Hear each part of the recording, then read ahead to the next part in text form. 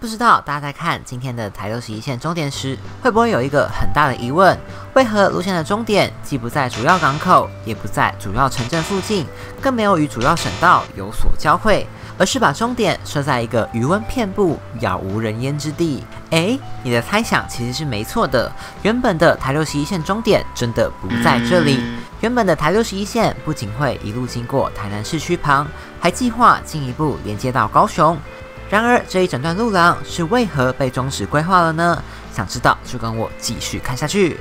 把时间倒回至一九八零年代末，当时的国道一号工程已经完工通车。至于同样由高工局规划的二高后续计划工程，也在一九八九年获得核定。同时，在一九八零年代，公路局也正在办理西部滨海公路的改善计划。目标将台二线、台十五线及台十七线三条滨海公路拓宽为双向四车道标准，并把剩余路段衔接，成为台湾西部新的南北干道。然而，滨海公路属于一般的平面式公路，不仅沿线有大量的耗资路口，道路路况也容易受沿线聚落的发展影响。最终考量西滨公路的改善计划，对于转移中山高的车流成效相当有限。因此，行政院在一九九零年便指示公路局将西部滨海公路提升为西滨快速公路。计划不仅配合中山高与新建中的二高，在台湾西部形成三条南北向的高快速公路，还将进一步透过十二条东西向快速公路的计划，构成便捷的西部高快速公路网。而在一九九一年被行政院核定的西滨快速公路最早计划版本，路线起点便是从巴里一直连接到台南洗树，路线的头尾端则会辟建联络道，衔接关渡大桥与当时的高雄县世界。当时如果新建完成，可以预期将会成为国道一号之外，连接台南市与高雄市的重要高快速公路系统。当时的规划路线，在跨过曾文溪后，便会从城区聚落附近穿过，并设置一处交流道于此。接着，路廊转入台南海岸，并在今日的四草大桥附近设置交流道。接着，来到今日的关系平台与渔光岛。而在当时，今日的观光胜地渔光岛，其实是与关系平台相连的鲁连沙洲，并非独立岛屿。后来，渔光岛为何变成今日的岛屿样貌呢？这是因为在旧安平港淤积过于严重的情况下，船只需要透过安平商港多航行三公里的里程，才能进出安平渔港。最后，台南市府与交通部协调，决定再把安平旧港打开，再透过渔光大桥连接被切断后的渔光岛，才形成今日渔光岛被切断的样貌。接着，西冰块便继续沿着海岸线旁前进，在四坤身旁设置交流道。最后，可在台南洗漱衔接台八十六线，而且会设置联络道往茄定前进。最后，沿着台十七线连接到高雄县世界。但是，就如同之前影片所提到的，西滨快的计划其实推行的相当不顺。由于道路采用完全的封闭式设计，那如此一来，居民们利用道路将会变得相当不便，因而导致民众群起抗争。而曾文溪到台南洗漱的路段，在规划时也不断引起地方民怨。像安南土城的民众就曾反对西滨拓宽，并组成了异议西滨道路开发自救会，不断到市府陈情。而各地主也认为，西滨宽一百公尺的征收范围将严重影响自身权益而反弹。安平的居民则认为，快速道路将划过余光分校，会影响民众的受教权，希望将快速道路再往西移。而台南市野鸟协会也表示，当地为一百多种鸟类的栖息地，西滨块的开发将会赶走这些鸟类，也将折损原有的防风林带。在一九九五年，四草野生动物保护区的划定，更为此段的西滨块建设又再添变数。当时的台南县市政府曾特别与公路局协商，期望西滨块的公路工程尽快开辟。最后，通过四草野生动物保护区的争议路段改线后，环评才终于得到通过。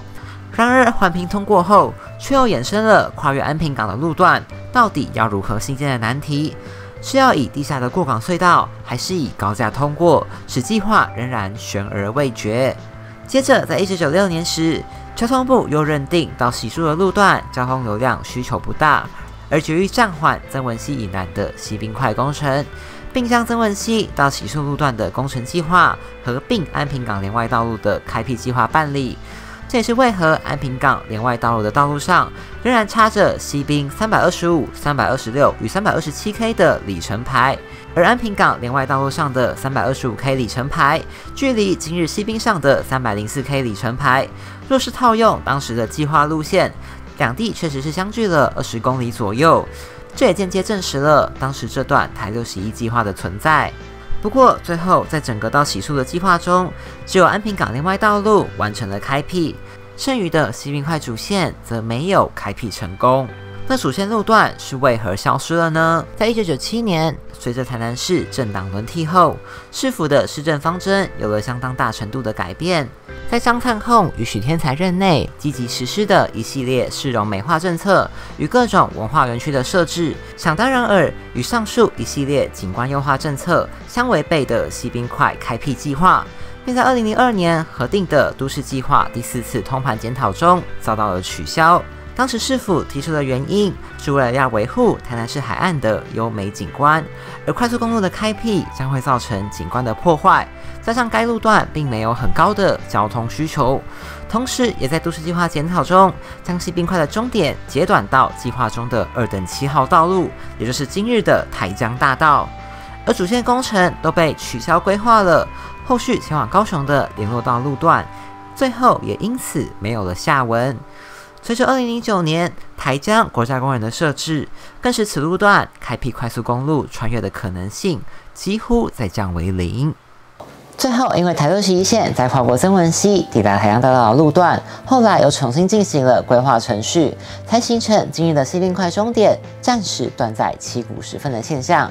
不过，随着时间一转眼的来到二零二二年，跨过曾文溪抵达台阳大道的台六十一线路段规划已经完成，正在准备动工。未来台六十一线的终点又将进一步延伸到台江大道。在这个基础上，公路总局又提出了台六十一线延伸高雄的计划。那大家如果想知道这个计划的详细内容，也别忘了帮我按下一个喜欢加订阅，并开启小铃铛。还有是发我的 IG，才不会错过西滨延伸路廊的细细解析。那大家也别忘了把影片分享出去，给你身旁位在台南高雄的朋友们，让他们知道原来西滨其实有这样的计划哦。